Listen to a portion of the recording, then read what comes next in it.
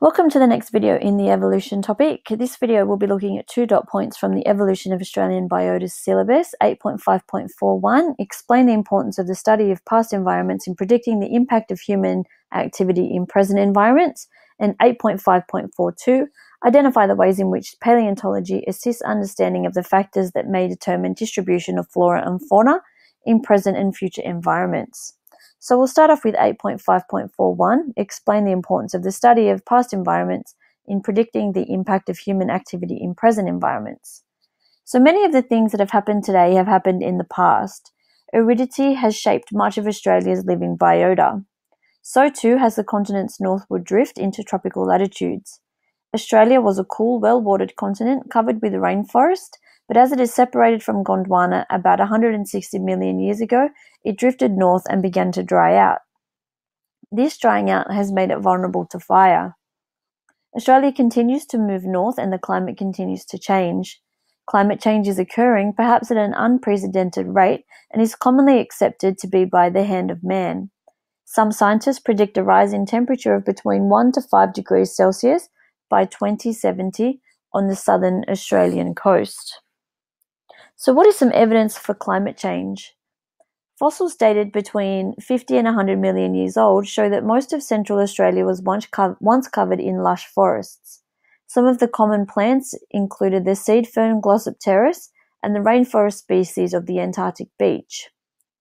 This proves that at that time, much of Australia and much of Gondwana had a much wetter climate than today. When sea levels rose about 40 million years ago, parts of central Australia were covered by an inland sea. Animal fossils, including those of crocodiles, flamingos, and tortoises, indicated an extensive water environment. As Gondwana split up and Australia moved north, the climate gradually became drier. The evidence is the appearance of, in the fossil record at about 25 million years ago of sclerophyll plants. We're looking a little bit more at sclerophyll plants as we move through the topic.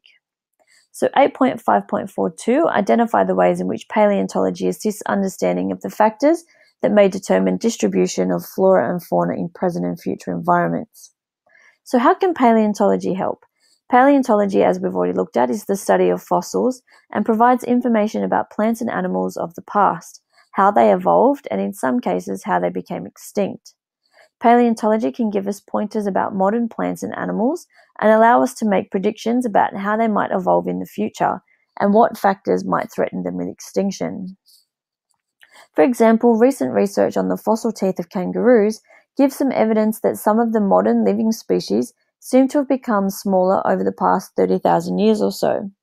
One explanation is that the Aborigines tend to have taken, sorry, tended to take the larger individuals when hunting, thereby leaving more smaller individuals to breed the next generation. This selective hunting has acted just like natural selection, causing changes in these populations. So, natural selection means that there has to be a variation in the population, and the environment will choose which of those variations is more suited to the environment. All those others will die off, and that selected or that favorable characteristic will then um, go on, reproduce, and create more in the future. So what they're thinking is that this selective hunted hunting, sorry, has acted as the um, that selecting factor in the environment, and organisms that are outside of that um, particular trait that the Aboriginals are hunting for are able to survive and reproduce. So this helps us to predict the effects of human activities on the species. Paleontology has revealed how the flora and fauna of Australia changed in its relative abundance and its distribution as the continent underwent climate change over the past 50 million years. So, as we know, abundance means how many, and distribution means where they're found. So, over the past 50 million years, as Australia has become drier and warmer, we've seen a great change in where these organisms are found and how many of them are found in each place. So, for example, as the climate dried, the rainforest contracted to the mountains, and the east coast and rainforest species such as the Antarctic beech declined from being a dominant species to near extinction. Meanwhile, the sclerophyll plants, which had previously been rare and insignificant, expanded their distribution to become the dominant flora of Australia. We now face a major global uh, sorry, a major climate change in the form of global warming. The knowledge gained from paleontology allows scientists to make predictions about the future changes to distribution of our modern plants and animals as climate change occurs. So, as we can see, we've identified the ways in which paleontology has helped us to understand environments of the past and therefore make predictions about environments of the future. And we can use this to explain the importance of the study of paleontology because if we didn't have this understanding of the changes in the past, we wouldn't be able to make these predictions about where we're headed in the future.